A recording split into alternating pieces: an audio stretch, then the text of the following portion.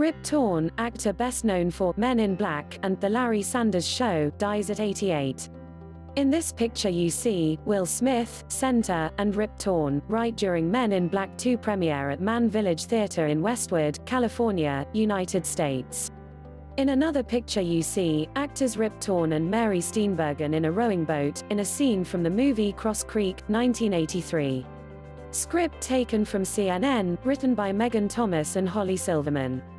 This video is hard-coded and especially made for English learners. Clips may not match the story. Just relax and learn English with ease. Please subscribe to the channel.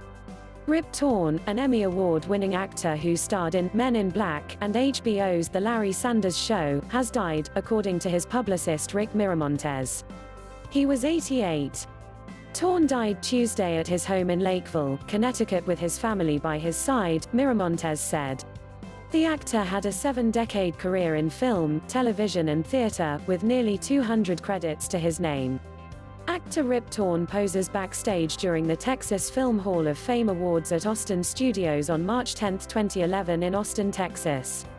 His secret weapon was to play drama as comedy and comedy as drama, Miramontez recalled the star once saying. Torn appeared on Broadway 10 times, making his debut in Tennessee Williams' Sweet Bird of Youth in 1959. He earned a Tony Award nomination in 1960 for his performance.